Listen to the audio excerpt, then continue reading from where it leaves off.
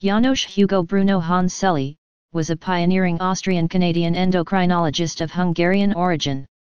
He conducted much important scientific work on the hypothetical nonspecific response of an organism to stressors.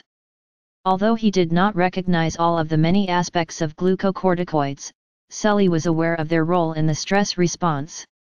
Charlotte Gerson considers him the first to demonstrate the existence of biological stress.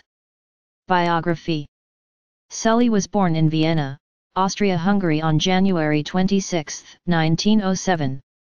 He grew up in Komárom, Slovakia, and the Slovakian language university in that town bears his name. He became a doctor of medicine and chemistry in Prague in 1929, went to Johns Hopkins University on a Rockefeller Foundation scholarship in 1931 and then went to McGill University in Montreal where he started researching the issue of stress in 1936.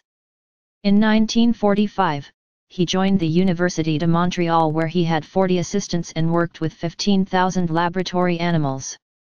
Cantha, 1992, in a survey of an elite group of scientists who have authored over 1,000 research publications, identified Selye as one who had published 1,700 research papers, 15 monographs, and 7 popular books. He died on October 16, 1982 in Montreal, Quebec, Canada.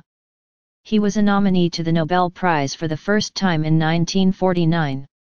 Selye was of Austro-Hungarian origin and Slovakian ethnicity. Work on stress.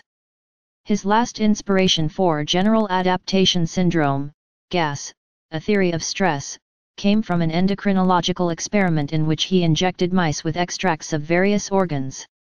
He at first believed he had discovered a new hormone, but was proved wrong when every irritating substance he injected produced the same symptoms, swelling of the adrenal cortex, atrophy of the thymus, gastric and duodenal ulcers.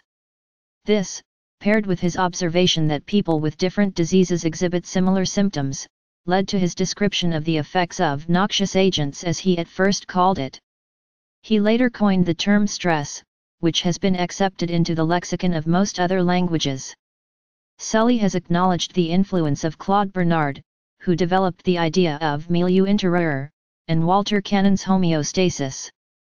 Selye conceptualized the physiology of stress as having two components, a set of responses which he called the general adaptation syndrome, and the development of a pathological state from ongoing, unrelieved stress.